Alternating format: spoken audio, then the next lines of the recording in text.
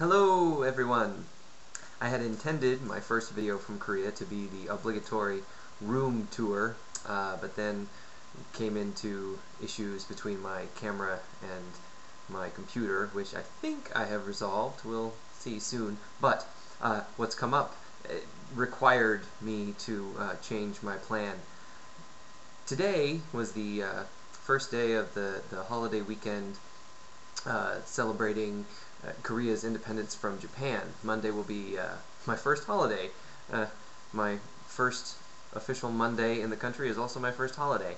But, um, and uh, as such, uh, my directors were, I guess, having family or something, and um, surprised me by offering me a, a number of containers with food. So after this week long of uh, trying different types of Korean food in restaurants, I was treated today to homemade Korean food.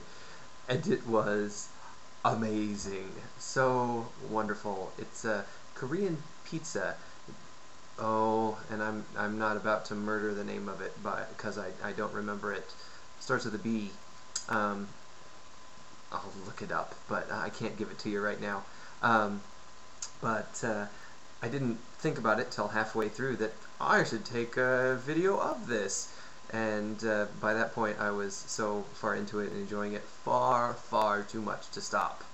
So um, I just uh, really kind of wanted to share my joy with uh, having enjoyed some real homemade Korean food and just how how amazing it is and how much I really appreciate this new land that I'm, I'm living in and uh, and the food and uh, the people and um, my surroundings and and really just kind of say thank you world for making this happen for me. Um, so to all of you uh, cheers. I raise the, the glass of, of, of, rice beer that came with the, the Korean pizza. Um, and uh, I hope you all are doing well. And uh, let you know that I am doing very well. And we'll talk to you again soon. Alright, bye-bye.